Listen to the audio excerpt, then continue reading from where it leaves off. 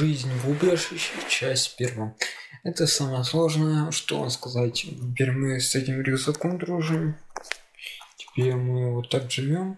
Но обновление для украинцев, что не получат одного. Шотчок у них такой, то, что они могут что-то новое сделать, то, что они могут что-то проиграть. Поэтому всегда новое что-то появляется, что-то ходит. А это главное, чтобы пережидать это, как говорят, Россия военную операцию в Украине, самую плохую и тогда будет мир. Именно не переждать, а именно победить Россию. Потому что военная операция, вы знаете, ошибочная. Ошибочная, потому что не так логично. Тут уже нечего мне сказать, тут просто все класс. Если прям посмотреть, то да, в принципе,